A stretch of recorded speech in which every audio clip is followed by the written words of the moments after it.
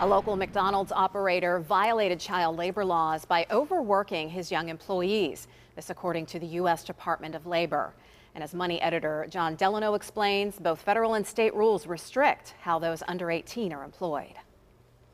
Santa Anastasio Enterprises operates McDonald's in locations from Green Tree to Waynesburg, from McKees Rocks to Moon, and from Castle Shannon to the city where 101 14 and 15 year olds were overworked, violating federal law. We conducted an investigation and we found that there were 13 separate establishments as part of this enterprise that were employing minors under the age of 16 in hours that were prohibited by federal law. Federal labor laws restrict 14 and 15 year olds to just three hours of work on school days and no work after 7 p.m. On non school days, they may work eight hours, but no more than 18 hours a week while in school. The rules can be confusing. Are the rules different for 16 and 17 year olds than they are for 14 and 15 year olds? Under the federal law, once they turn 16 years of age, we no longer regulate the hours they work.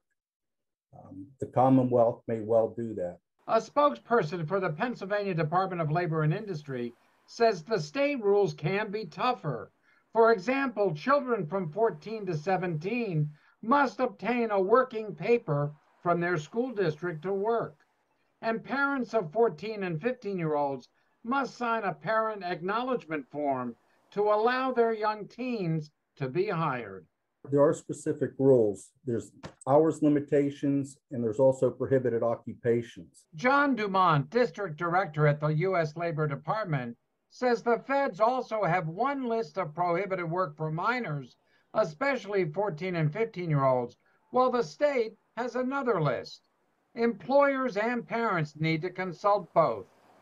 Reid Maki with the Child Labor Coalition says the number of kids in violation far exceeds the prosecutions. The Federal Department of Labor found about 4,000 kids who were, you know, who were in situations of child labor violation last year.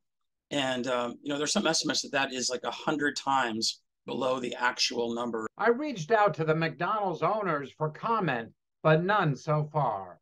I have linked some of the state and federal rules about child labor at kdka.com.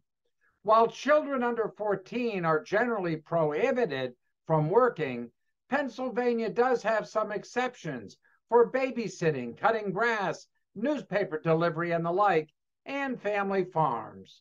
Jon Delano, KDKA News.